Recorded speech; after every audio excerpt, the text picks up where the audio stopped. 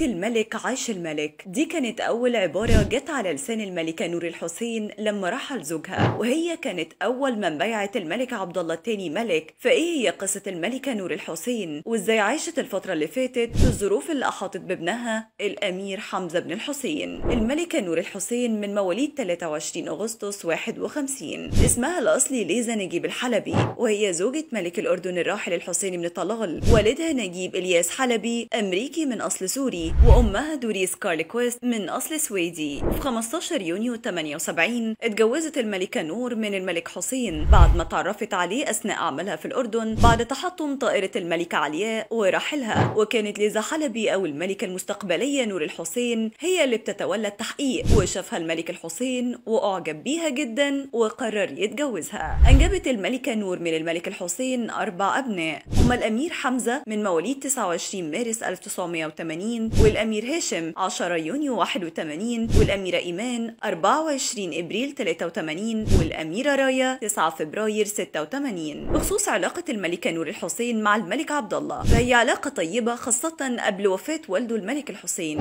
وكمان بتربطها علاقة مميزة مع زوجته رانيا آل عبد الله لدرجة إنها كانت بتميزها عن بقية الأميرات وخلتها تتولى إدارة مؤسستها نهر الأردن. بعد أزمة الملك عبد الله وأخوه الأمير حمزة الأخيرة من المعروف إن الملكة نور الحسين كان ليها تعليقات ومواقف ثابتة على وضع ابنها بعد ما أمر الملك بتقييد إقامته السنة اللي فاتت بسبب خلافات وقعت داخل البيت الهاشمي. علقت ساعتها الملكة نور الحسين على تقييد إقامة ابنها الأمير حمزة وقالت على تويتر يجب علينا جميعا التزام الهدوء واحترام سيادة الملك لما فيه خير الشعب الأردني واستقراره. وكان كلامها ده في منتهى التوازن والعقلانية. الملكة نور كان أول رد فعل ليها على قرار الملك عبد الله بتقييد تحركات نجلها الأمير حمزة أنها قالت غريبة حقا الأشياء الخيالية المتداولة الآن. أصلي من أجل أن تسود العدالة والحقيقة لجميع ضحايا الأبرياء لهذا التشهير ذي الدوافع الشريرة. بعدها كتبت على تويتر تاني وقالت وفقا لخبراء قانونيين فإن المجلس اللي تم تشكيله بموجب قانون الأسرة المالكة لعام 37 يعتبر انتهاك لدستور الأردن سنة 52 والحق في التمثيل هو المفتاح. وكملت كلامها وقالت لم يتم إرسال أي مرافعات أو إجراءات أو مداولات قانونية إدارية إلى المستشار الهاشمي بعد تكليف الحسين.